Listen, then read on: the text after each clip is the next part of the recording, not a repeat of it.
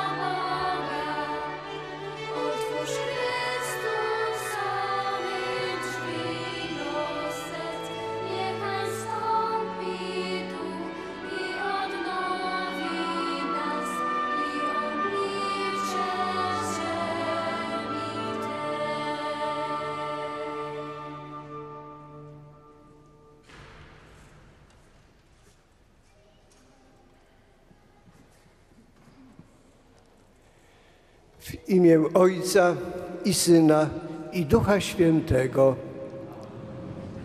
Miłość Boga Ojca, łaska Pana naszego Jezusa Chrystusa i dar jedności w Duchu Świętym niech będą z Wami wszystkimi.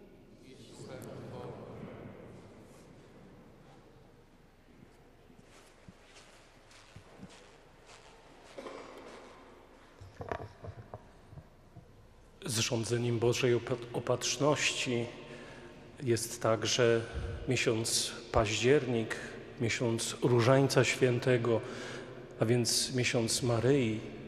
Jest jednocześnie miesiącem świętego Jana Pawła II. To miesiąc, w którym wspominamy, przeżywamy te daty, które tak mocno związane są z osobą świętego papieża. Przede wszystkim data 16 października, kolejna rocznica wyboru na stolicę Piotrową księdza kardynała Karola Wojtyły. To także miesiąc, kiedy w dniu 22 października przeżywamy rocznicę inauguracji pontyfikatu Jana Pawła II i jego liturgiczne wspomnienie. Ale dzień dzisiejszy rozpoczyna właśnie ten czas najważniejszych dat związanych z osobą świętego Jana Pawła II, bo dzisiaj w tę niedzielę przeżywamy kolejny dzień papieski. Niedzielę poświęconą dziedzictwu świętego Jana Pawła II. W szczególny sposób jest to także dzień związany z fundacją Dzieło Nowego Tysiąclecia, fundacją, która nazywana jest słusznie żywym pomnikiem świętego Jana Pawła II. Duchowo i materialnie pragniemy wspierać fundację, aby ona z kolei mogła pomagać młodym ludziom rozwijać ich talenty. Po mszy świętej stypendyści, wolontariusze fundacji będą prowadzić kwestę. W tym czasie będziemy mogli materialnie wesprzeć fundację. Bardzo się cieszę, że po raz kolejny ten Dzień Papieski, Niedzielę Papieską możemy przeżywać tutaj w Sanktuarium Świętego Jana Pawła II w Krakowie na Białych Morzach i że po raz kolejny jest z nami metropolita krakowski, ksiądz arcybiskup Marek Jędraszewski, którego pragnę serdecznie powitać. Witam wszystkich zgromadzonych, w szczególny sposób stypendystów Fundacji Dzieło Nowego Tysiąclecia i zapraszam do wspólnej modlitwy przez wstawiennictwo świętego Jana Pawła II.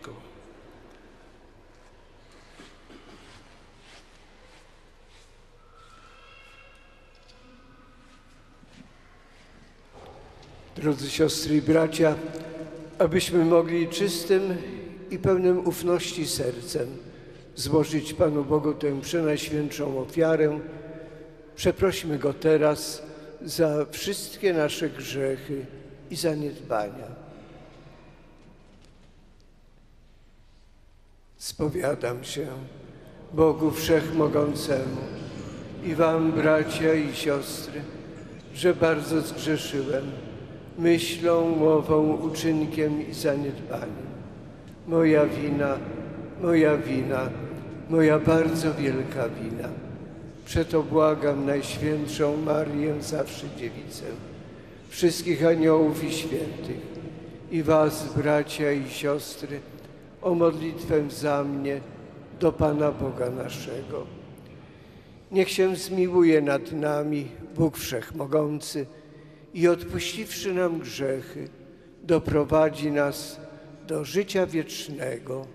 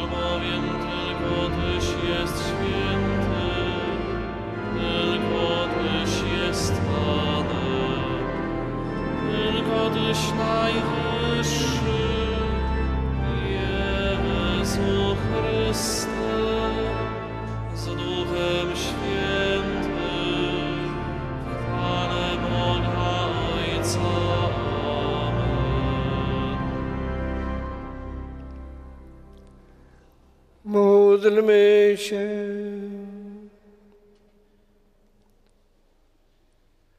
Prosimy Cię, Boże, niech Twoja łaska zawsze nas uprzedza i stale nam towarzyszy, pobudzając naszą gorliwość do pełnienia dobrych uczynków.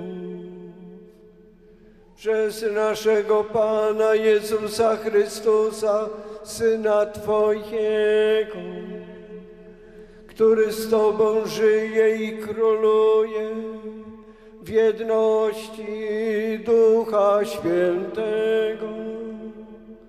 Bóg przez wszystkie wieki wieków.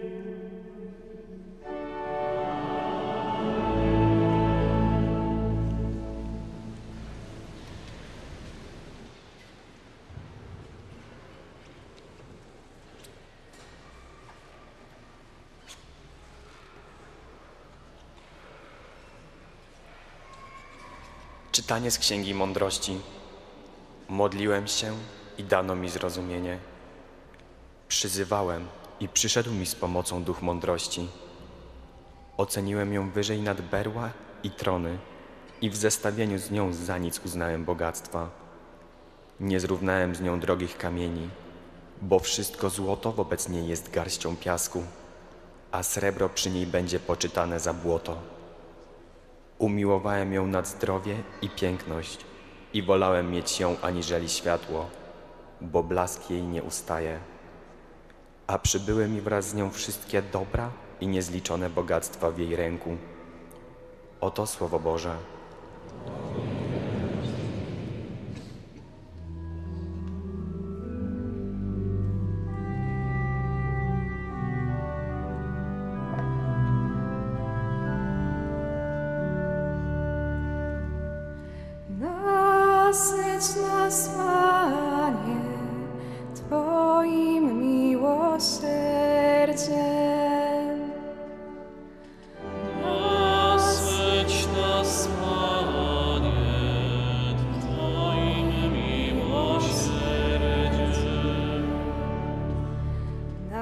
Nas liczyć dni nasze, byśmy zdobyli mądrość serca.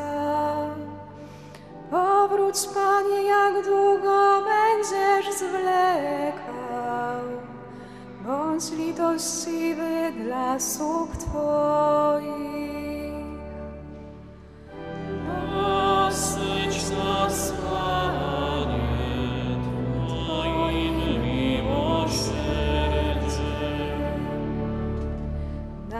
Nasyć nas o świcie swoją łaską, abyśmy przez wszystkie dni nasze mogli się radować i cieszyć.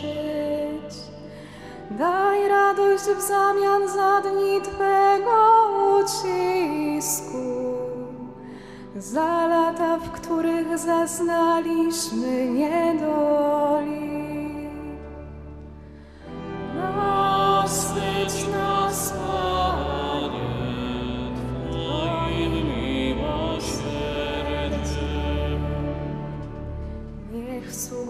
Twoim ukaże się Twe dzieło, a Twoja chwała nad ich synami. Dobroć Pana Boga naszego niech będzie nad nami i wspieraj pracę rąk naszych. Dzieło rąk naszych wspieraj.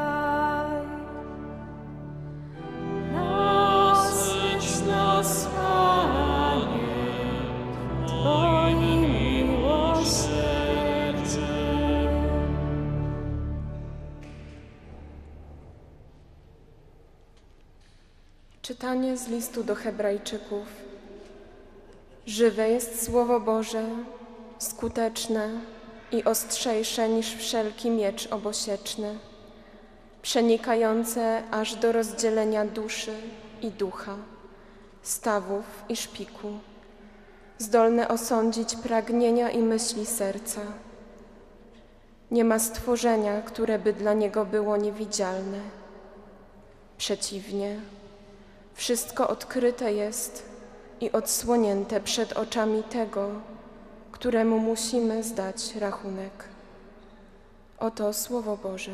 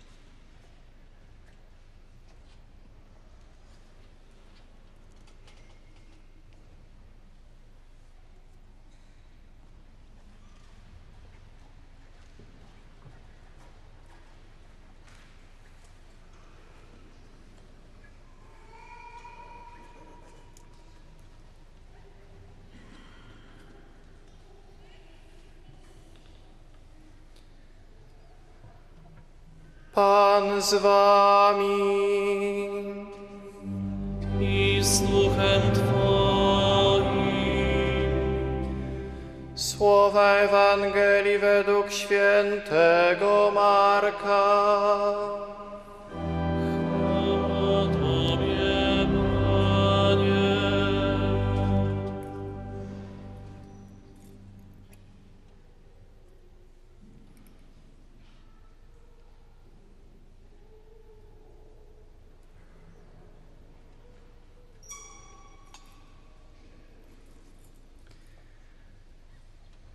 Jezus wybierał się w drogę, przybiegł pewien człowiek i upadłszy przed nim na kolana, pytał go: nauczycielu dobry, co mam czynić, aby osiągnąć życie wieczne?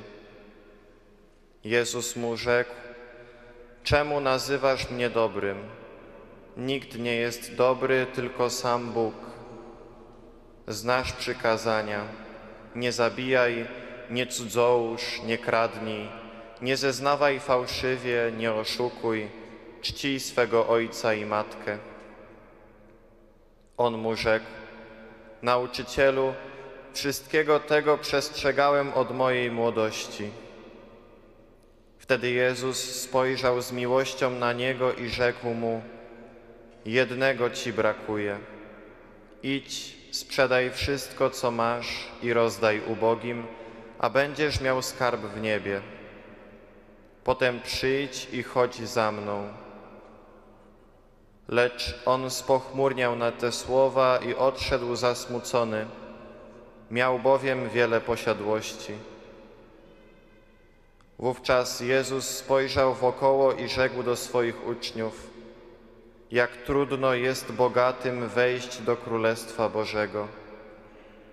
Uczniowie zdumieli się na jego słowa, lecz Jezus powtórnie rzekł im: Dzieci, jakże trudno wejść do Królestwa Bożego tym, którzy w dostatkach pokładają ufność. Łatwiej jest wielbłądowi przejść przez ucho igielne, niż bogatemu wejść do Królestwa Bożego. A oni tym bardziej się dziwili i mówili między sobą, któż więc może się zbawić?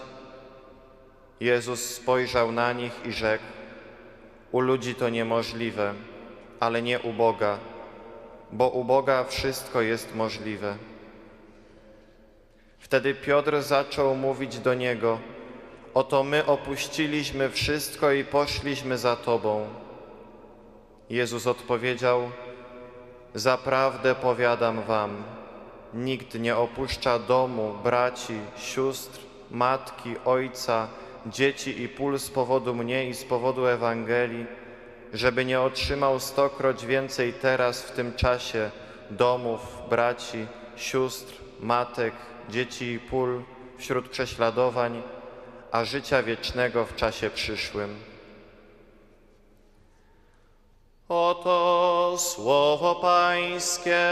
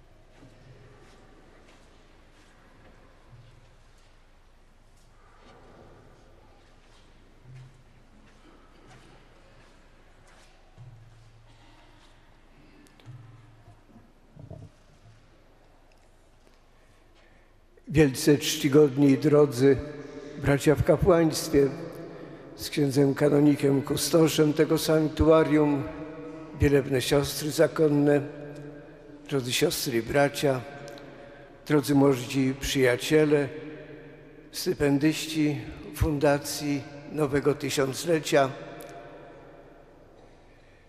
wszyscy, którzy łączą się z nami na modlitwie dzięki telewizyjnej transmisji, wszyscy drodzy memu sercu, siostry i bracia. Autor listu Księgi Mądrości pisze: Dlatego się modliłem i dano mi zrozumienie, Przyzywałem i przyszedł na mnie duch mądrości. Umiłowałem ją nad zdrowie i piękność i wolałem mieć ją aniżeli światło, bo nie zna snu blask od niej bijący. Dlatego się modliłem. Święty Jan Paweł II pozostał w naszej pamięci jako mąż wielkiej modlitwy. Wtedy, kiedy sprawował Najświętszy Sakrament, Najświętszą ofiarę w sposób, który wielu określało mianem mistyczny. Kiedy szedł przez świat, to obraz ze Światowych Dni Młodzieży w Denver, szedł przez świat w białej sutannie z kijem pielgrzymim, pielgrzymim w jednej dłoni, a w drugiej dzierżącej różaniec. Kiedy wiele godzin spędzał na adoracji Najświętszego Sakramentu, kiedy niemal codziennie odprawiał drogę krzyżową. Mąż wielkiej modlitwy. Przyzywałem ją i przyszedł na mnie duch mądrości. To właśnie dzięki tej modlitwie, zgodnie z Księgą Mądrości, Jan Paweł II stał się mężem niezwykłej Bożej mądrości. Tą mądrością zadziwiał świat, zwłaszcza wtedy, kiedy szedł z odwagą, męstwem, jasnym przesłaniem o Chrystusie na wszystkie areopagi świata, kiedy przemawiał w aulach ONZ-u i UNESCO, kiedy wpływał na bieg spraw międzynarodowych, gdy obudził ducha Polaków, najpierw poprzez swój wybór, a jeszcze bardziej, kiedy w czerwcu 1979 roku po raz pierwszy przybył do naszej ojczyzny i na placu Zwycięstwa w Warszawie 2 czerwca wołał: Niech stąpi duch Twój i niech odnowi oblicze tej ziemi. I jego wołanie usłyszał Bóg. I doszło do niezwykłego przebudzenia córek i synów naszej polskiej ziemi. Rok później zrodziła się Solidarność, która mimo stanu wojennego wprowadzonego przez komunistów 13 grudnia 1981 roku doprowadziła do radykalnych zmian w tej części naszego świata. Do upadku w sposób bezkrwawy ateistycznego, material, materialistycznego, sowieckiego komunizmu. Jego mądrość dochodziła do głosu wtedy, kiedy stawał się sumieniem tego świata. Przeciwstawiając się wielkim tego świata, chociażby w obliczu zbliżającej się wojny Stanów Zjednoczonych i ich koalicjantów w Iraku. Nie posłuchano jego głosu wtedy. I doszło do następstw, które po dzień dzisiejszy ciążą nie tylko nad Bliskim Wschodem, ale w jakiejś mierze nad całym światem. Był sumieniem tego świata, kiedy upominał się o godność małżeństwa i rodziny. Był sumieniem tego świata, kiedy jednoznacznie przeciwstawiał się wielkim tego świata którzy narzędzie sprawowania swej władzy widzieli także w aborcji i eutanazji. W imię świętości życia wołał wszędzie nie wolno, nie wolno zabijać. Umiłowałem mądrość nad zdrowie i piękność, pisze dalej autor Księgi Mądrości. Początkowo zachwycał świat swoim zdrowiem, tężyzną fizyczną, ale także szczególnym pięknem i siłą swego słowa. A potem przyszedł zamach na jego życie 13 maja 1981 roku, a potem kolejne choroby, zwłaszcza niszcząca i dewastująca go choroba Parkinsona. Również wtedy, w obliczu cierpienia, które toczyło nie tylko jego ciało, ale dotykało jego ducha, mimo pogarszającego się z każdym dniem stanu jego zdrowia, stał się przejmującym, dla wielu wprost wzruszającym, głosicielem i świadkiem Ewangelii starości i cierpienia. I to, co za chwilę, drodzy siostry i bracia, chcę w związku z tym powiedzieć, jest czerpanie z tych wieści, z tych informacji, które na gorąco w tamtych latach czynił Joaquin Navarro Valls, dyrektor Sala Stampa de la Santa Sede, czyli dyrektor biura prasowego Stolicy Apostolskiej. Niedawno jego bardzo ciekawe, bardzo szerokie wspomnienia ukazały się w książce Moje lata z Janem Pawłem II.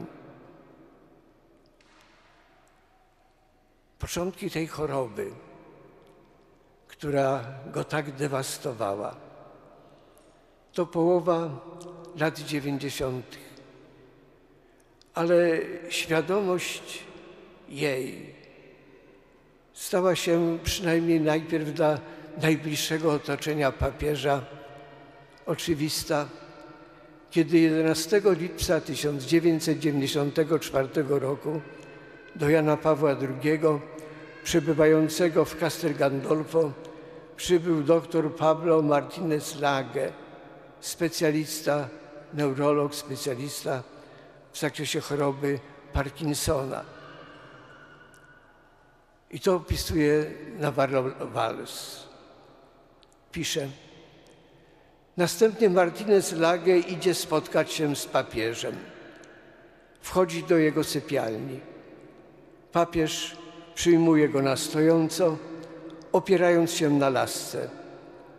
Martinez Lage zaczyna zadawać mu pytania i prosi, żeby wyjaśnił, co się dzieje. Papież odpowiada: Uważam, że Bóg zsyła mi te znaki w postaci moich chorób i próbuję je zrozumieć. Navarro Valls, wszystko to jest sposobem jego życia. Nawiązuje do zamachu, potem do drżenia ręki. Kiedy le lekarz pyta go o sen, mówi, że tej nocy spał tylko trzy godziny. Papież nie okazuje w żaden sposób zniecierpliwienia, co wydaje mi się znamienne przy tak długim badaniu jak to. Powracamy do sali. Martinez Lage potwierdza diagnozę choroba Parkinsona. Ale papież nie do końca zdaje sobie sprawę z przyczyn tej słabości, jaką odczuwa. Myśli, że to następstwa niezbyt udanej operacji biodra, jaką przeszedł kilka lat wcześniej. Ale lata 1996-1997, niemal 10 lat przed swoją śmiercią, to okres, w którym zaczyna rozumieć, co go naprawdę toczy. 26 czerwca 1997 roku. Navarro Valls. Mówię papieżowi, że rok temu w Castel Gandolfo powiedział zdanie, które wyry, wyryło mi się w pamięci i bardzo pragnę, żeby mi je wyjaśnił. Zdanie brzmiało: È arrivato già il tempo che supera tutte le debolezze. Minął już czas pokonywania wszelkich słabości. Mówię, że ja interpretuję je w ten sposób, że słabości fizyczne, choroby są nieistotne. Papież odpowiada mi natychmiast. Tak, to właśnie chciałem powiedzieć. Odnosi się do swojej sytuacji fizycznej. Papież, któremu drży ręka, który łamie nogę, głos jeszcze funkcjonuje, ale Navarro Valls to jakby jego zewnętrzne samookreślenie. Mówi to nie użalając się nad sobą, po prostu stwierdza fakt. Ja na to, Ojcze Święty, w ten sposób widać, że Bóg robi wszystko niemal nie potrzebując tego, co ludzkie. Papież ripostuje bez wahania. Ach tak, w ten sposób zrozumiała staje się Polska, Francja i reszta. Navarro Valls. Jest jasne, że w ten sposób przyjmuje łasce Bożej dobre przyjęcie, z jakim spotkało się jego przesłanie w tych krajach podczas ostatnich podróży. To cuda, które Bóg dokonuje właśnie wtedy, gdy ograniczenia fizyczne są bardziej wyraźne. Dodaję, że po rozpoczęciu pontyfikatu postać młodego słowiańskiego papieża, który jeździł na nartach i pływał, nieomal utrudniała w pewnym sensie przyjmowanie ewangelicznego orędzia. Był to obraz pociągający sam w sobie. Teraz, kiedy ludzie bardziej oswoili się z postacią papieża, możliwe, że więcej też słuchają orędzia Chrystusa, które papież przekazuje. Już wtedy Jan Paweł II wie, debolece, te jego słabości, które odczuwa każdego dnia z coraz większą siłą, nie da się pokonać osobistym wysiłkiem, gimnastyką, higieną zdrowia, nawet lekarstwami. Przychodzi cierpienie, na które trzeba się zgodzić. Przychodzi cierpienie, które na wzór świętego Pawła należy łączyć z tym, co niejako nie dostaje cierpieniom Chrystusa dla dobra Jego ciała, którym jest Kościół. Więc wie, że trzeba tę granicę pokonać i przyjąć cierpienie jako szczególny środek, by z orędziem Chrystusa jeszcze bardziej skutecznie trafiać do, trafia, do świata. Z orędziem Chrystusa ukrzyżowanego i zmartwychwstałego. Dwa lata później, 2 grudnia 1998 roku. Navarro Valls. W pewnej chwili podczas rozmowy papież mówi mi, że są przygotowywane dwa dokumenty czekające na odpowiedni moment. Jeden na temat osób starszych i drugi na temat artystów. Piszę te dwa dokumenty jednocześnie. Jednocześnie piszę dwa listy do wydawałoby się dwóch niezwykle odległych od siebie światów. Z jednej strony do artystów, z drugiej strony do ludzi chorych, cierpiących, starych. Jak to możliwe? Jest to możliwe w duchu jego antropologii, którą wyłożył jeszcze jako kardynał w 1969 roku w książce Osoba i czyn, gdzie mówił, że osoba się spełnia, czyli doprowadza siebie do pełni przez dobre czyny, a nie spełnia się, w jakiejś mierze siebie degraduje przez złe czyny. I można siebie tworzyć, będąc artystą. I można siebie tworzyć, będąc człowiekiem starym i cierpiącym. I dlatego piszę te dwa dokumenty jednocześnie. Pierwszy z nich ukazał się w niedzielę Zmartwychwstania Panickiego 4 kwietnia 1999 roku jako list Ojca Świętego Jana Pawła II do artystów. Sam będąc artystą, artystą słowa, pisanego jako poeta i filozof, słowa wypowiadanego jako ten, który jest aktorem, zwłaszcza teatru rapsodycznego. Pisze tak o tym, co tworzy artysta.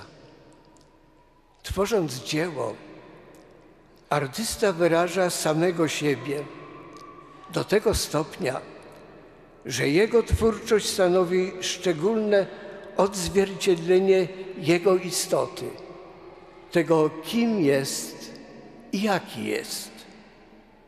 Znajdujemy na to niezliczone dowody w dziejach ludzkości. Artysta bowiem, kiedy tworzy, nie tylko powołuje do życia dzieło, ale poprzez to dzieło jakoś także objawia swoją osobowość. Odnajduje w sztuce nowy wymiar i niezwykły środek wyrażania swojego rozwoju duchowego. Poprzez swoje dzieła artysta rozmawia i porozumiewa się z innymi. Tak więc historia sztuki nie jest tylko historią dzieł, ale również ludzi. Dzieła sztuki mówią o twórcach, pozwalają poznać ich wnętrze i ukazują szczególny wkład każdego z nich w dzieje kultury. I naraz ten obraz artysty, który wyraża siebie poprzez stworzone przez siebie dzieło. Jan Paweł II odnosi do każdego człowieka, pisząc: Nie wszyscy są powołani, aby być artysty, artystami w ścisłym sensie tego słowa. Jednak według Księgi Rodzaju zadaniem każdego człowieka jest być twórcą własnego życia. Człowiek ma uczynić z tego swojego życia arcydzieło sztuki. I dlatego zwraca się na koniec swego listu do artystów z następującym apelem. Wy wszyscy, którzy poświęciliście życie sztuce, macie ukazywać bogactwem swego geniuszu, że świat jest odkupiony przez Chrystusa. Odkupiony jest człowiek, odkupione jest ciało człowieka, odkupione jest całe stworzenie. Prawie pół roku później, 1 października 1999 roku, papież opublikował drugi dokument, o którym wspominał Ksłakinowi Navarro Balsowi. List Ojca Świętego Jana Pawła II do osób w podeszłym wieku. I tu daje wyznanie swojego stanu ducha. Wie, na co choruje. Wie, jak ta choroba będzie dalej toczyła jego sylwetką, jego zdrowiem fizycznym, jak będzie chciała naruszyć jego ducha. A mimo to pisze, mimo ograniczeń mego wieku, bardzo wysoko sobie cenię życie i umiem się nim cieszyć. Dziękuję za to Bogu. Pięknie jest służyć aż do końca sprawie Królestwa Bożego. Zarazem jednak głębokim pokojem napełnia mnie myśl o chwili, w której Bóg wezwie mnie do siebie, z życia do życia. Dlatego wypowiadam często i bez najmniejszego cienia smutku modlitwę, którą kapłan odmawia po liturgii eucharystycznej. In hora mortis me, et iube me venire ad te. W godzinie śmierci wezwij mnie i każ mi przyjść do siebie. Jest to modlitwa chrześcijańskiej nadziei, która w niczym nie umniejsza radości obecnej chwili, a przyszłość zawierza opiece Bożej dobroci. Powaga sytuacji, jego zdrowia, jego cierpienia ukazała się światu jesienią 2003 roku podczas pielgrzymki Jana Pawła II na Słowację. 14 września 2003 roku Bratysława Navarro Vals. Ograniczenia będące udziałem papieża są dramatycznie oczywiste. Nie tylko nie może chodzić, nie może nawet ustać na nogach, nie udaje mu się poruszać nogami. Jego mowa jest niezwykle ciężka, kiedy artykułuje kilka słów, zwłaszcza jeżeli musi odczytać jakiś tekst. Niewątpliwie duże znaczenie ma tu również presja emocjonalna. Ale mimo tego, jeszcze tego samego dnia po południu wyjeżdża do Trnawy na Barrowals. Papież przy tym wszystkim i mimo wszystko sprawuje swoją posługę. I tak po zakończeniu przemówienia odczytanego przez kardynała Tomkę, kiedy widać grupę niepełnosprawnych na wózkach inwalidzkich, nakazuje, żeby zawieziono go tam, gdyż chce się z nimi przywitać. To wzruszająca scena, kiedy widać, jak on sam, niepełnosprawny, pociesza i z czułością traktuje niepełnosprawnych. Dwa dni później, już w Castel Gandolfo, 16 września, na Wals. Mówię papieżowi, że uczynił wiele dobra ludziom na Słowacji. mimo tak wielu trudności fizycznych, a może dzięki nim, zamyśla się na pewien czas i później mówi non omnis moriar. Zdanie poety Horacego, nie wszystek umrę, które interpretuję jako sposób powiedzenia, że nie wszystko zostało zaprzepaszczone, że coś tam pozostanie. I dodaje po francusku malgré tout, mimo wszystko, mimo ograniczeń. Zapamiętaliśmy go z dwóch ostatnich gestów, jakimi żegnał się z nami, ze światem.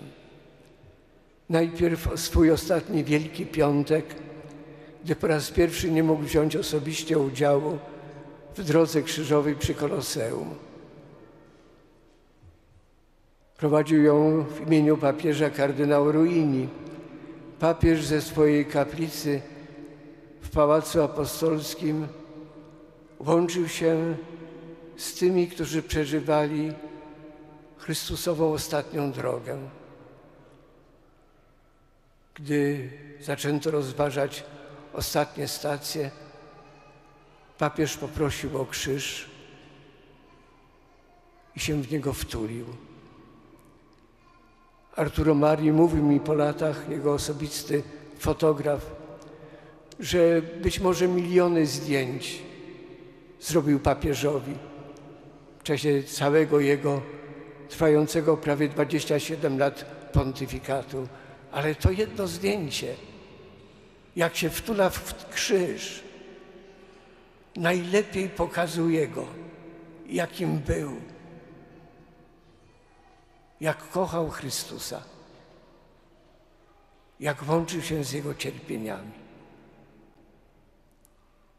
I drugi gest z niedzieli zmartwychwstania. Miał przemówić chociaż kilka słów, ale wzruszenie odebrało mu mowę.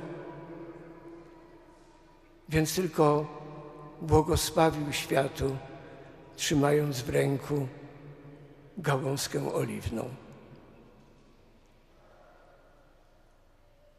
Sześć dni później odchodził do domu ojca. Nawiązując do tego, co pisał w liście do artystów, możemy powiedzieć z całą pewnością. Jan Paweł II spełnił co do siebie to zadanie, o którym pisał. Był wspaniałym twórcą własnego życia. Ze swego życia uczynił arcydzieło sztuki. A nawiązując do słów Pana Jezusa z dzisiejszej Ewangelii, do słów, które były odpowiedzią na pytanie Piotra o to, opuściliśmy wszystko i poszliśmy za Tobą, cóż w zamian otrzymamy? Możemy powiedzieć, wprawdzie Jan Paweł II opuścił Jezu, dla Jezusa i Jego Ewangelii Polskę.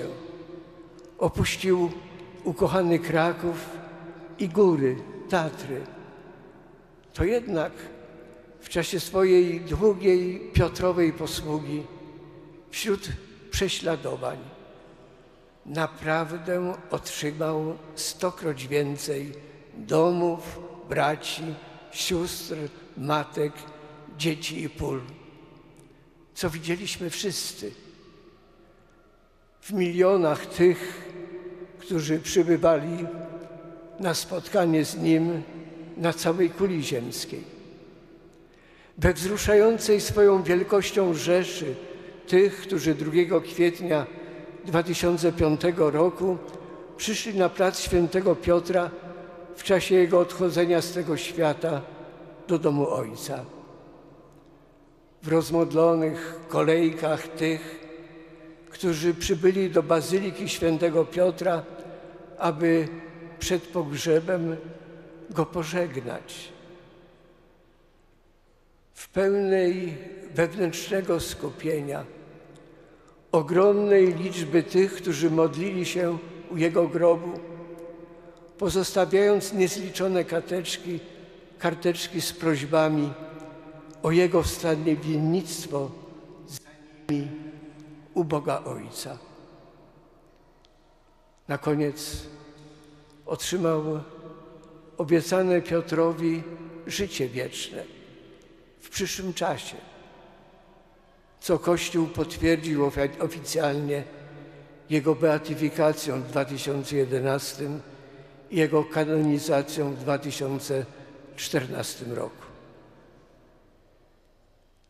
Święty Janie Pawle II Wielki, pozwól nam zrozumieć, że my wszyscy, którzy poprzez sakrament chrztu złączyliśmy nasze życie z Chrystusem, poprzez bogactwo naszych osobowości, a niekiedy także poprzez naszą starość, tak często powiązaną z ogromnym cierpieniem, które dołączamy do zbawczych cierpień Chrystusa.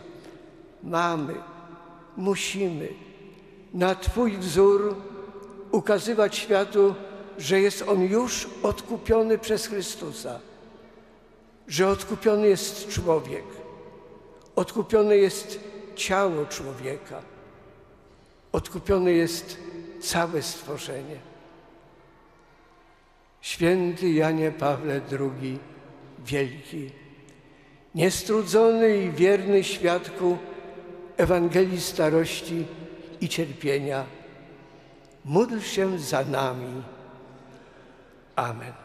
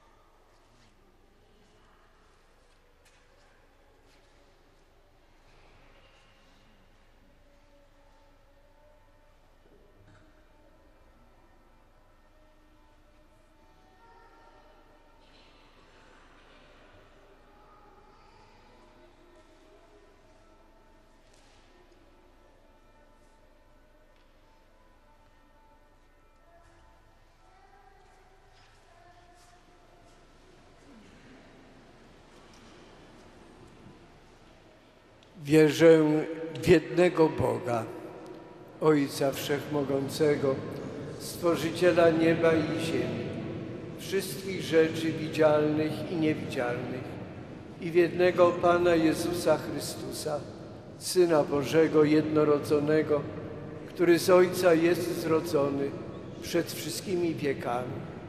Bóg z Boga, światłość ze światłości.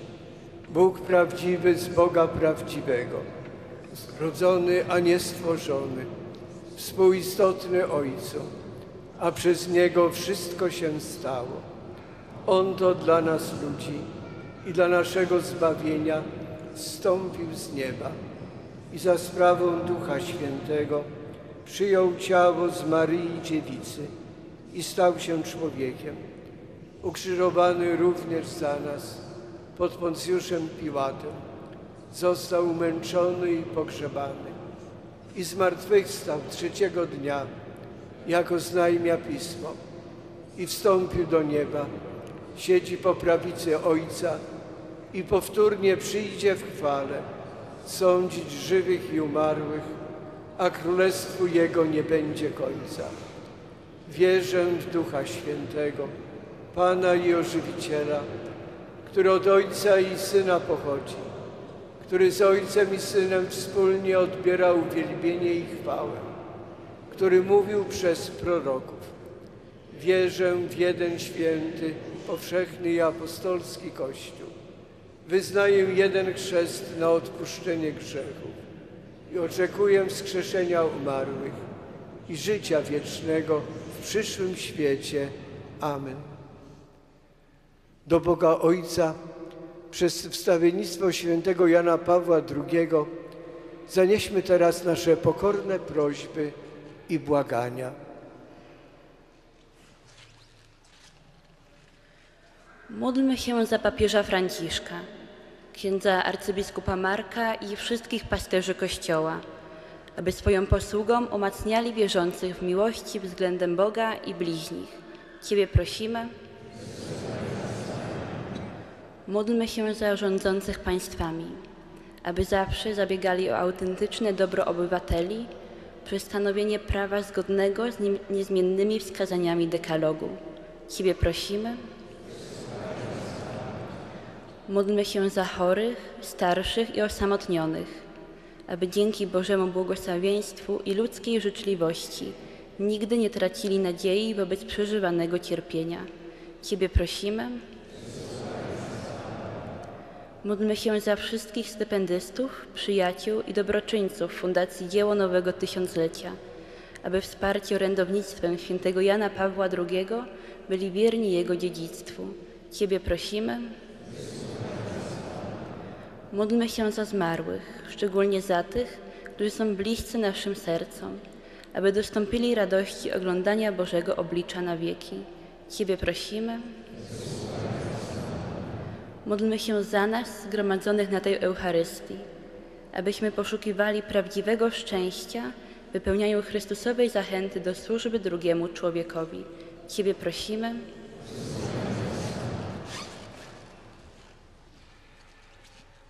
Wszechmogący, wieczny Boże, wyjrzyj łaskawie na prośby Twojego ludu i racz je wysłuchać, jeśli są zgodne z Twoją wolą. Przez Chrystusa, Pana naszego.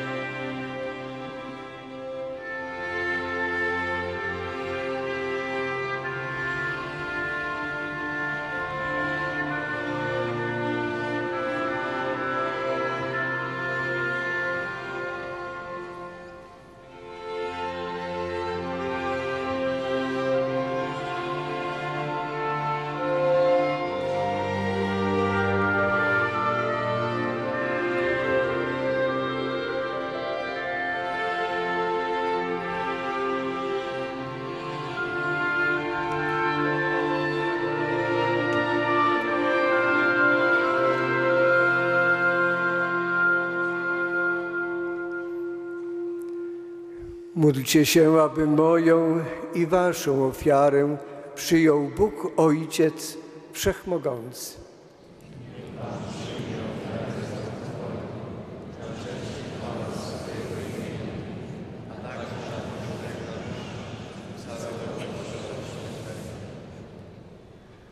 Miłosierny Boże, przyjmij nasze modlitwy i dary, które składamy. I przez udział w świętej ofierze doprowadź nas do wiecznej chwały. Przez Chrystusa, Pana naszego.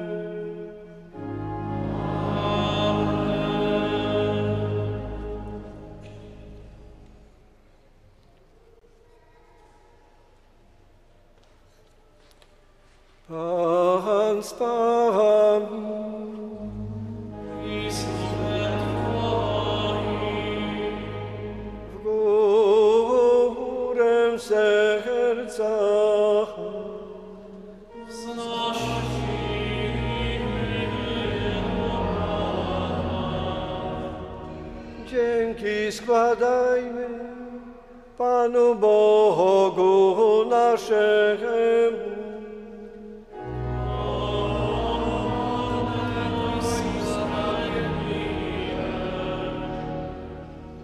Zaprawdę godne to i sprawiedliwe, a dla nas bawienne.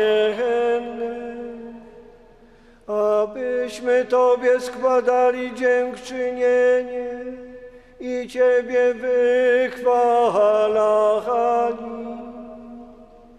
Panie Ojcze Niebieski, Wszechmogący i miłosierny Boże, przez naszego Pana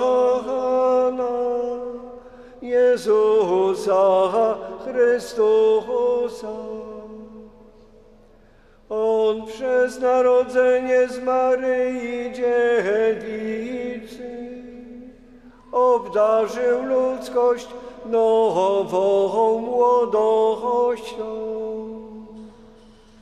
Przez swoją mękę zgładził nasze grzechy. Przez powstanie z martwych dał nam dostęp do życia wiecznego. A wstępując do Ciebie, Ojcze, otworzył nam bramy Dlatego z chórami aniołów i świętych głosimy Twoją chwałę. Razem z nimi wołając.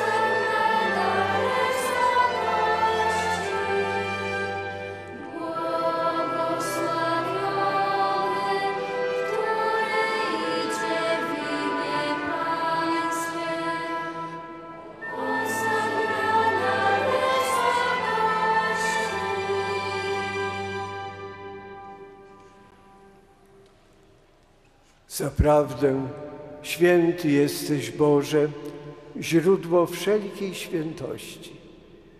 Dlatego stajemy przed Tobą i zjednoczeni z całym Kościołem uroczyście obchodzimy pierwszy dzień tygodnia, w którym Jezus Chrystus zmartwychwstał i zesłał na apostołów Ducha Świętego. Przez Chrystusa prosimy Ciebie, Wszechmogący Boże.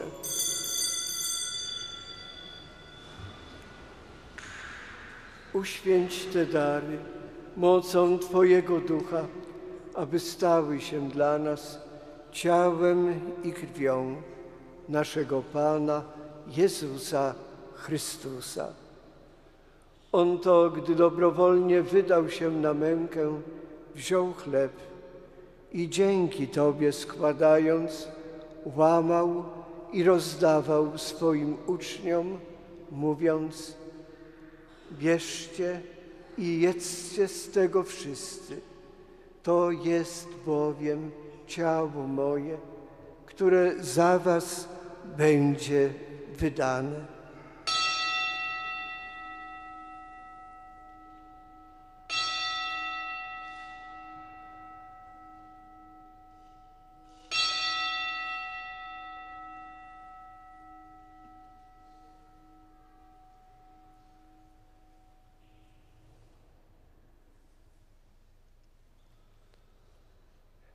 Podobnie po wieczerzy wziął kielich i ponownie dzięki Tobie składając, podał swoim uczniom, mówiąc: Bierzcie i pijcie z niego wszyscy.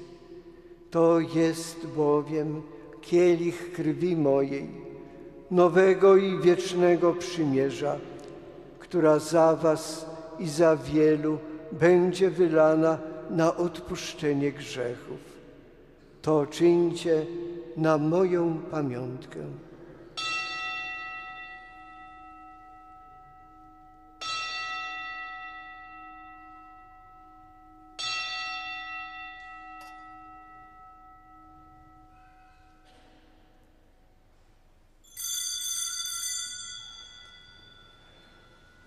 Oto wielka tajemnica wiary.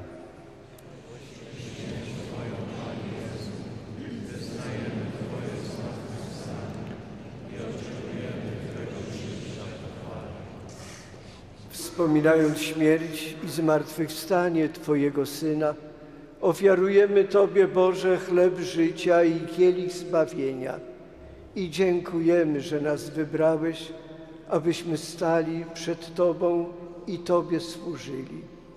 Pokornie błagamy, aby Duch Święty zjednoczył nas wszystkich, przyjmujących ciało i krew Chrystusa. Pamiętaj Boże o Twoim Kościele na całej ziemi. Sprawa, by lud Twój wzrastał w miłości. Razem z naszym papieżem Franciszkiem, naszym biskupem Markiem oraz całym duchowieństwem.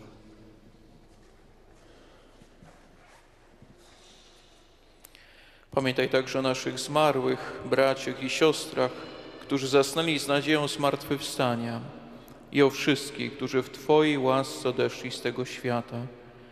Dopuść ich do oglądania Twojej światłości.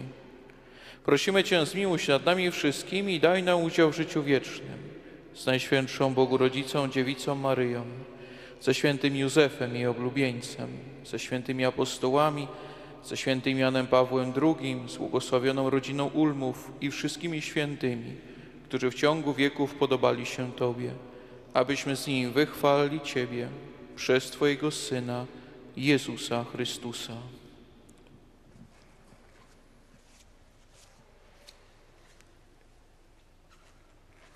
Przez Chrystusa, z Chrystusem i w Chrystusie.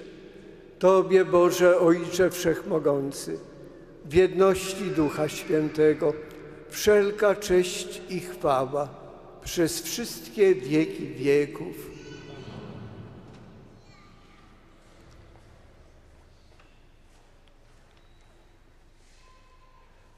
Pouczeni przez Bawiciela i posłuszni Jego słowom, ośmielamy się mówić. Ojcze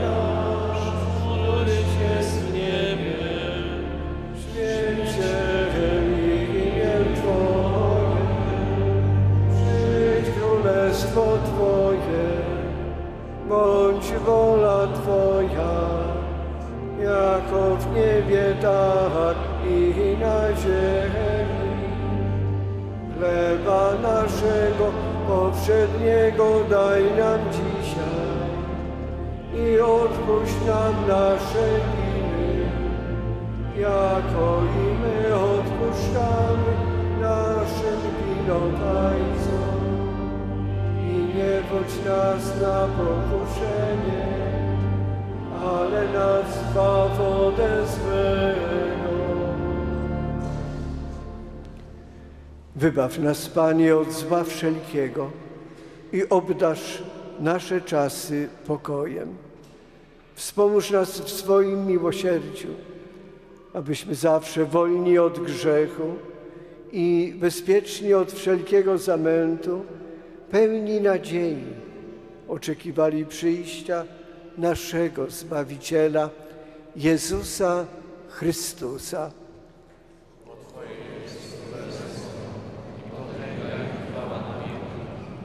Panie Jezu Chryste, Ty powiedziałeś swoim apostołom, pokój wam zostawiam, pokój mój wam daję. Prosimy Cię, nie zważaj na grzechy nasze, lecz na wiarę swojego Kościoła i zgodnie z Twoją wolą napełniaj go pokojem i doprowadź do pełnej jedności, który żyjesz i królujesz na wieki wieków. Pokój Pański niech zawsze będzie z Wami. Przekażcie sobie znak pokoju.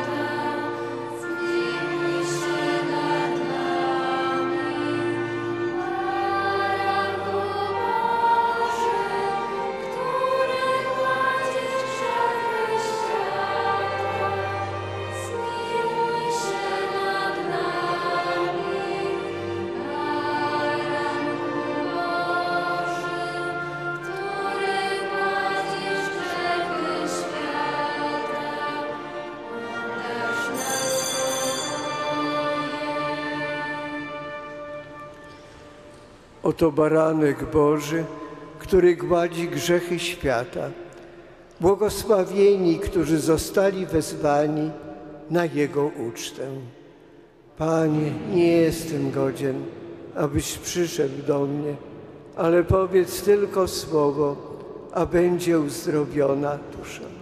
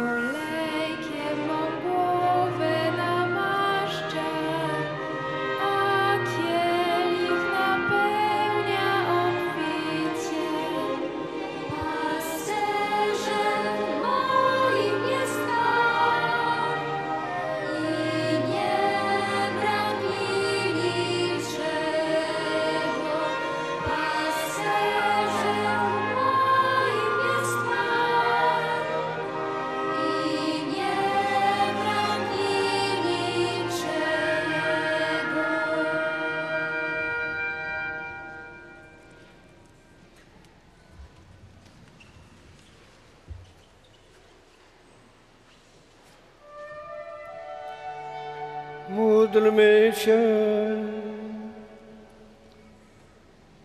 Wszechmogący Boże, Ty nas karmisz najświętszym ciałem i krwią Twojego Syna. Pokornie Cię błagamy, abyś dał nam udział w Twoim boskim życiu. Przez Chrystusa, Pana naszego.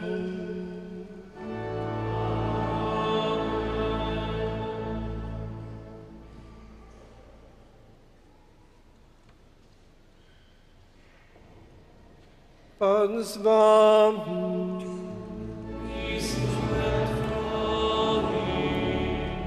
Niech imię Pańskie będzie błogosławione. teraz i na wieki. Wspomożenie nasze w imieniu Pana. który stworzył niebo i ziemię. Niech Was Błogosławi Bóg Wszechmogący, Ojciec i Syn i Duch Święty.